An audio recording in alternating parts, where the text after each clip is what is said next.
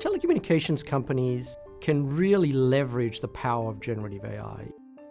Our Amdocs amAIz platform in collaboration with NVIDIA really helps us to supercharge the agent, the customer agent. You can take a customer agent that has one year of experience and really give them a tool set to make them behave like an agent that has five years of experience.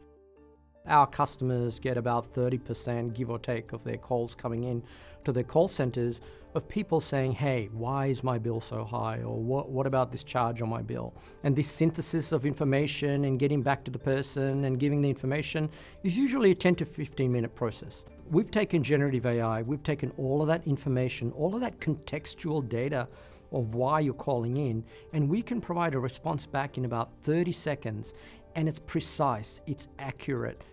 Our strategic partnership with NVIDIA has been crucial in our acceleration of generative AI capabilities. This allows us to build on infrastructure and frameworks to really solve the needs of our customers as they evolve and as the world evolves.